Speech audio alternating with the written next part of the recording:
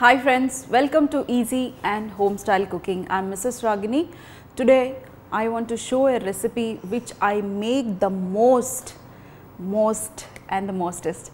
So this is nothing but drumstick and cucumber that is sweet cucumber rasam.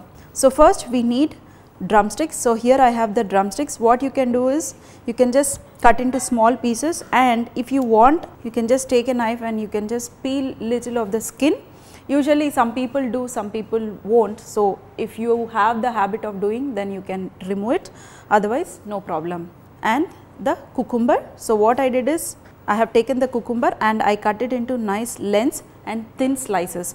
Do not make it too thin slices or thick because we want both to be cooked equally. So, I have cut it little bit thin. So, these two are ready and we are going to add some onions also these also length. So, let us start just take a pan in this we are going to add some oil and we are not going to use any rasam powder or anything just homemade simple rasam. For tempering I am going to add some cumin seeds and some mustard seeds and also some garlic. So, what I am going to do is I am going to take a dingchik and I am just going to crush this garlic. This we are going to add it in our rasam. Now, add the cumin seeds, the mustard seeds and now you can add this garlic. You know this way we get nice flavor to our rasam. Just mix it once. You know whenever I make rasam I add lot of garlic and you know I will search for the garlic when I have this rasam. So here the garlic is little bit color. Now we are going to add some onions and also just some 2 to 3 pieces of green chili because we are going to add red chili powder and also pepper powder. So, I am adding very less of green chili. In this add some turmeric and now add the drumsticks. You know drumsticks takes little bit time. So, what I am going to do is first I am going to cook for 2 to 3 minutes in a very very slow flame and then I am going to add the cucumber. So, first I am going to cover this with a lid. Before covering we are just going to add some salt. Now, put it in slow flame and we are going to cook for 2 to 3 minutes.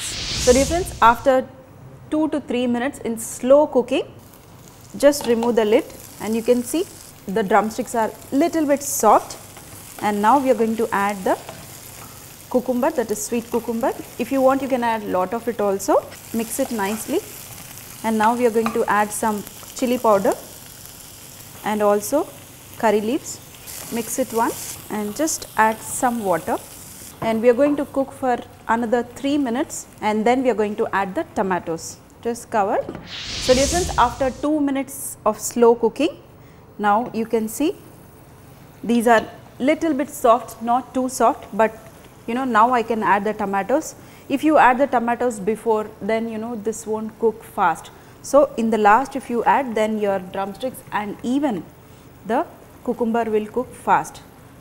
Now, add the tomatoes, lot of tomatoes we are making a you know rasam. So, I want lot of tomatoes. If you want you can add little bit of tamarind juice also for sourness, but today I am just making with tomatoes. What I am going to do is I am going to just cook for another 1 minute in little bit high flame by covering with a lid you know so that our tomatoes will be little bit soft and then we are going to add good amount of water to make our rasam. So, dear friends another 1 minute just remove the lid you can see the tomatoes are nice and soft and even if you see the cucumber is perfectly cooked. I do not want too much soft. Now, we are going to add water just check the taste once. I can add salt and also some crushed pepper. So, what I am going to do is I am going to take some peppercorns and in dingchik we are going to add this peppercorns. We are just going to crush it little bit and now I have crushed it nicely. We are going to add some pepper powder.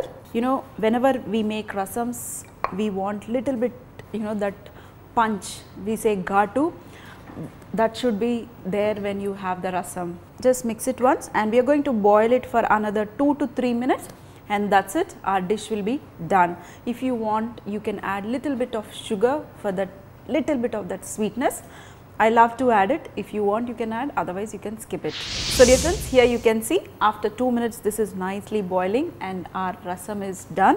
In the last, coriander and switch off the flame. I already checked the taste, everything is perfect. Dear friends, this rasam, I love to have it with rice and just keep one papad beside or some pickle, you will love this rasam and drumsticks and cucumber taste awesome and all these flavors are there in this rasam. You guys make this and feed your family and also share with your friends and have fresh food.